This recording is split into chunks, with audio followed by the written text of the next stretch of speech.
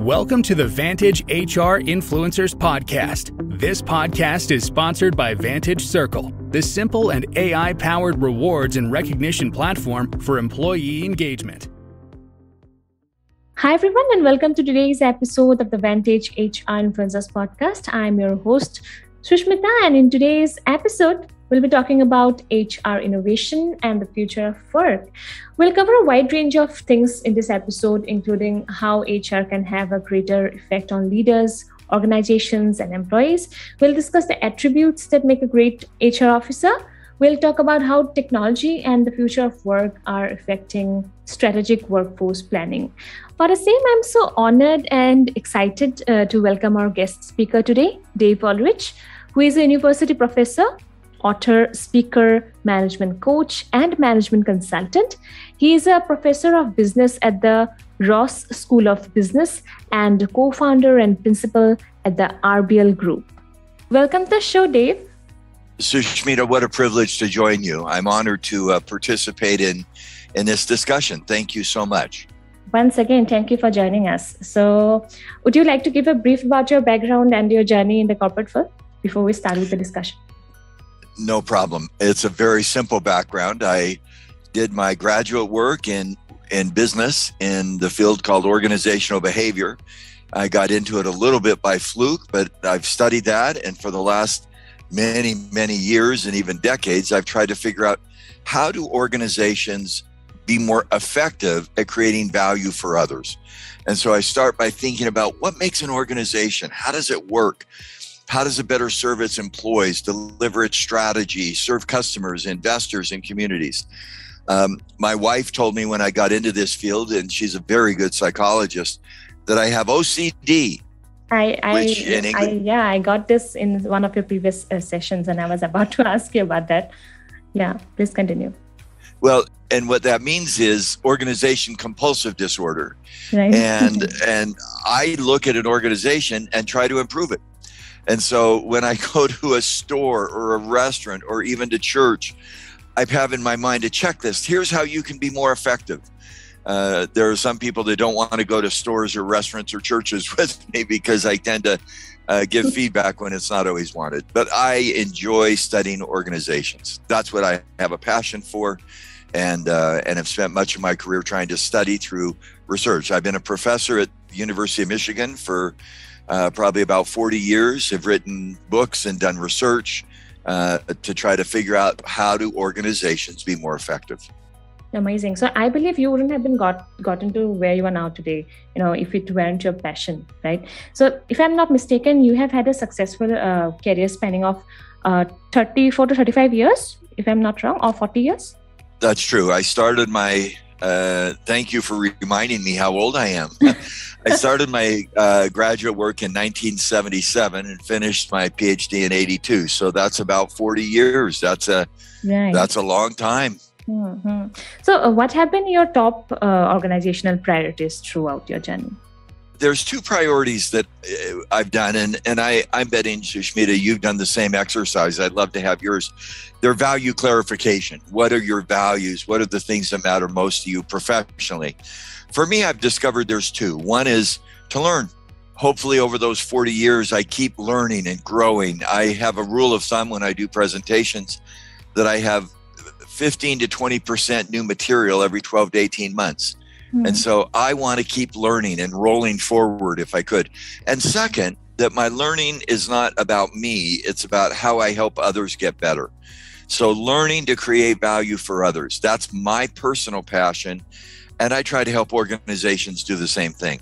How do we as an organization improve so that others get value from those improvements? Right. Learning forward and uh, I think also failing forward. I love the failing forward. I, uh, my wife, who's a psychologist, has studied uh, co- or mind or uh, growth mindset by Carol Dweck. So I made my wife a pillow that said, "I'm not failing, I'm learning." And uh, that that embroidery is on a pillow now on the couch in her office. That we we don't fail, we learn, and so when something goes wrong, that's an opportunity to explore what we could have done better and improve in the future. So I love the failing forward. I'm not failing, I'm learning. Uh, to me, that's it's actually a really good thing because I fail a lot. and if I'm not learning from it, I'm going to be in trouble. Okay, great. Okay, so coming to the topic today, Dave, HR innovation and future of work. So, HR uh, is uh, all about the people, and uh, on you know also it's also about enabling uh, people to do things differently, so they so that they, they can go above and beyond their job role across the organization. So, how does HR do that? I mean, nowadays, just a pat on the back or a thumbs up aren't probably the best way to do it, right? Yeah, I, I would change the definition just a little bit. Hmm. I've been using the term lately human capability. And I think HR is about creating value for others. So that's the logic. But there's three things HR contributes to do that. One is the people, human capital, people, the employee, the talent, the workforce. That's so critical. If you look at your fingers, the five fingers represent people. But HR does more than that. It builds human capability, and the human is the people. The capability is the organization. So turn your fingers into a fist. Do we have the right team? Do we have the right organization? Do we have the right workplace? Do we have the right culture? Do we have what I call capabilities? And then combine your fingers and your fist. That's leadership. Do we mm-hmm. have leaders, not just at the top, but distributed throughout the organization? So, my view is that HR is not about HR, it's about creating value for others, the premise, through A, talent, people, B, organization, culture, and C, leadership. And when HR innovates in those areas, uh, it, it, builds the right people, the right organization, and the right leadership to help us uh, companies and an organization succeed, uh, not only in the marketplace, but with multiple stakeholders. Right. So I'm sure uh, while doing that, uh, there are a lot many of challenges that HRs face, right? Especially in today's uh, this uh, COVID era, you know. No question. A lot of people, and the legacy of every profession, marketing or finance or uh, supply chain, has legacy. HR has a legacy. It grew up in in India, in fact, uh, where hmm. many of the innovative HR practices occurred in Europe and the United States being very operational. Terms and conditions of work the labor force the contract how do we how do we set the terms and conditions? And then evolve through what are some emerging practices to take care of those people and organization around talent and compensation and org development then it became strategic. And how do those practices drive strategy?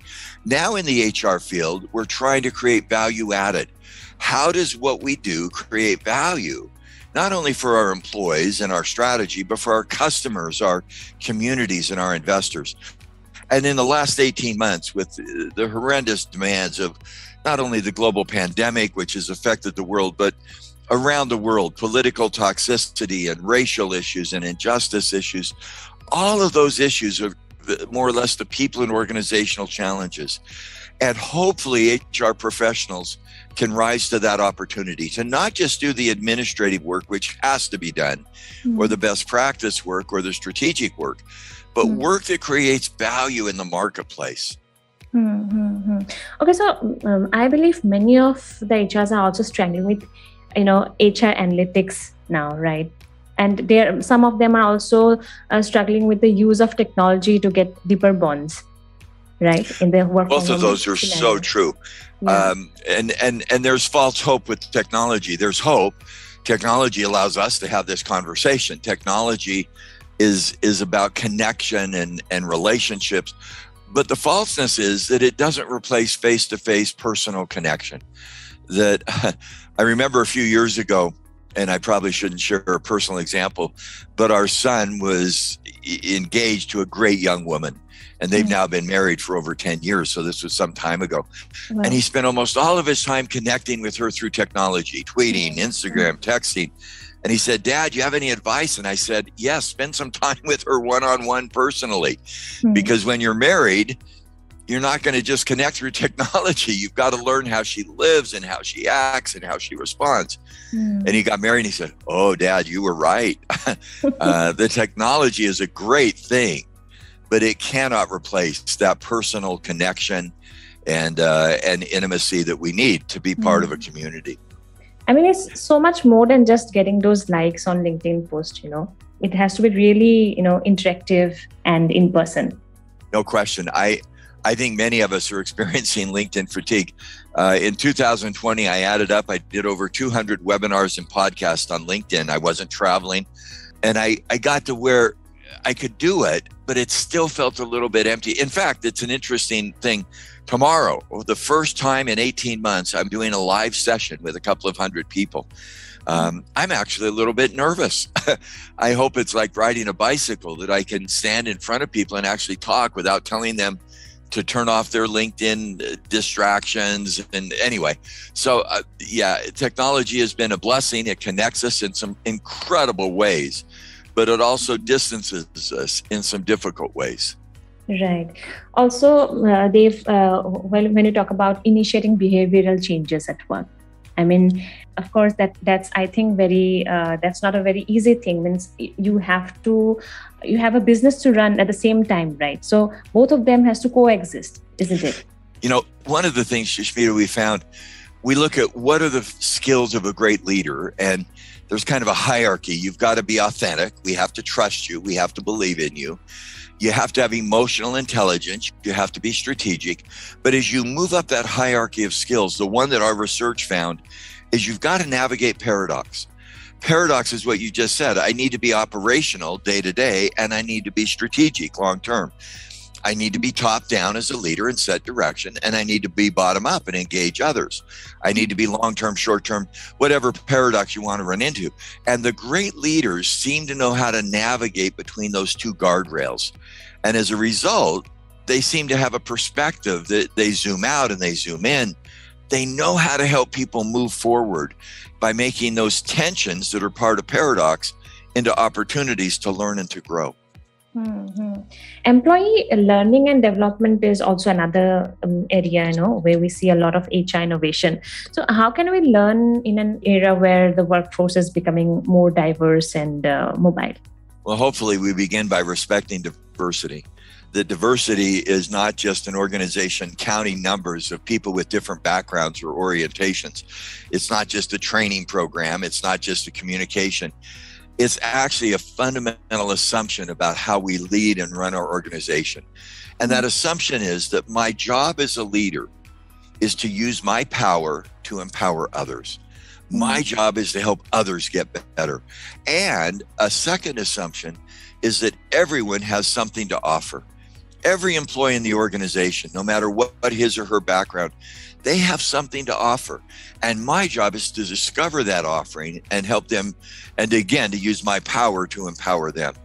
If we use that assumption, learning becomes a setting where divergent ideas help us roll forward to future thinking. And managing that learning process becomes so powerful to attend as teams, to have leaders take the lead, to shape an agenda, um, and to use learning as a setting for growth and for innovation. Right. So, formal education, like formal training, is also um, quite important, isn't it? No question. Uh, formal education becomes a form of credentialing. That, in fact, I get uh, amazed in our field that if we don't learn something, we end up reinventing it.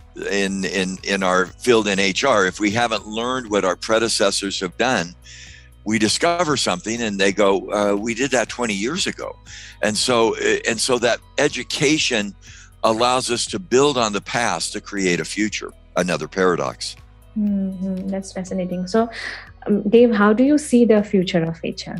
I am an optimist. I think uh, as long as HR is not about HR, it's about creating value for others through talent, leadership, and organization. If we can keep that in mind, the future is incredible. Because. I love the line, now is the time. Coming out of the 2008 and 2009 around the world was the financial and economic crisis. And there were a number of changes made about managing cash and managing debt. 2020 and 21, I think, will be remembered as the people and organizational crisis. And if HR can rise to that opportunity and not see it as a demand, I think we see the HR field becoming even more central to what we're doing in organizations. Right. So, do you think uh, the organizations are prepared with the new HR benefit? I hope so. Uh, not all organizations and not all HR people. Uh, we've learned sadly in in this pandemic that vaccines will mitigate the risk of the pandemic, and yet there's still I don't know what it is in your experience where you live in India or in mm-hmm. Australia or in Brazil or but in America there's still 10 to 20% who refuse to be vaccinated. Mm. And you go, I don't understand that because but but I do understand that there's still in the United States, I don't know the data in other countries, about 15% who won't wear seatbelts. About 10% who still think the world is flat. I mean, and and I think in some levels we got to move away from that group and focus on the other group and say how do we help those who are willing and able to move forward move forward in a positive way? And and i hope that's what we see as uh, as we look to the future of hr okay brilliant dave. Uh, so uh, moving on to the next question uh, we'd love to understand what is the outside in view of hr and culture dave? Well i've listened to uh, some of your previous sessions uh, in which you really explained this one uh, very beautifully, you know, with your uh, family's Disney experience. So it would be great if you can uh, share a few words with your real life example. Well, let me let me start with the family. and outside in is a simple example. Is as you pointed out so graciously at the beginning, I'm old, and I've been married for 45 years. Whenever mm-hmm. I get my wife a gift, who defines the value of the gift? And it's not me, it's her. When I was first married, I would get her tickets to sporting events. And she would say, enjoy yourself, uh, because that didn't create value for her. And so the goal of value is not what we do, it's what somebody gets because of what we do. So um, actually, it's interesting. Yesterday, I said to my wife, uh, what should we do to celebrate it? It doesn't happen to be her birthday, it's mine, but what would be meaningful?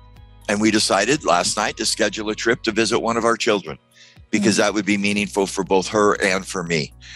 Values defined by the receiver more than the giver. Now, in organizations, we often talk about values. We talk about the values of an organization, the roots of the tree. Mm-hmm. I would like to pivot that. The values of the organization should create value for the customers and the investors. And so instead of thinking as values as the roots of the tree, think about them as the leaves of the tree. What does a what value does a customer get from the values that we have in our organization? That leads me to redefine culture. Culture is not just a value statement and a set of behaviors. It's mm-hmm. an identity in the marketplace that captures the customer so that they will then create a better success for the organization and allow us to create the right workplace. I think culture is not just the values inside, it's the value of those values outside. Right. So, uh, is there a message that you would like to give to our listeners today? I hope, and again, I don't want to impose my value on someone else, but I hope that most of us who listen are committed to learning, to seeing challenges as opportunities, to replacing fear with hope, and also to be willing to give back. Um, I remember, and let me let me frame that with two, three questions. Uh, I had the chance to do a commencement speech uh, for a university, and I don't have a rags to riches story like Stephen Jobs or Oprah Winfrey or others, but I coach, and the message I'd give to people is: question one, what do I want? What are my values? What matters to me? What are my strengths? What are my passions? Number two, who do I serve? Who will get value because of what I do? And number three, how do I institutionalize? How do I build? How do I make an organization better? Now, having said that, uh, Sushmita, I am not going to leave. You're relatively new to HR. You're well known as a, as a broadcaster. In the last year or two, as you've gotten to know HR, what do you think HR contributes? What would you say? You've done podcasts. You're a thoughtful observer. You're a clever thinker. What do you think HR should pay attention to? I'm turning the tables on you. I think uh, during all these uh, technological improvements, mm, I believe the basic, uh, you know, the, the basic human element in HR has been lost. So it's time to reintroduce the human element into HR. Um, in fact, uh, the HR team should also work constantly to create an atmosphere, an environment, and a culture uh, that encourages employees uh, know, to bring their best version of being human to work every day. What a great message, the human and human resources needs to be looked at aggressively. Thank you for sharing that. That's a great reminder. Thank and you. Thank so you much. for this discussion. Yeah. So uh, finally, how can our listeners reach out to you, Dave? I decided I've written a lot of books. I think it's a lot of books, but it's a lot of books. And they take a year or two to get written and published. So I've started posting on LinkedIn. Hmm. Just follow me on LinkedIn. I post a new article every Tuesday. And I Mhm. also get to engage with people. Um, On an article, I get comments. And if people disagree with me, that's wonderful Mhm. because that's how I learn. So the easiest way is to follow me on LinkedIn. Okay, thanks for joining me today, Dave. That was a great conversation. I hope you, you know, we'll get back you soon in our podcast. I hope so. Thank you again, and thank you for your insight. That was very, uh, very, a very good reminder and very helpful to remember the human and human resources. Thank you. You're welcome. Thanks for listening to the Vantage HR Influencers Podcast. Please do subscribe to Vantage HR Influencers Podcast on Apple Podcast, Spotify, and our YouTube channel for new episodes.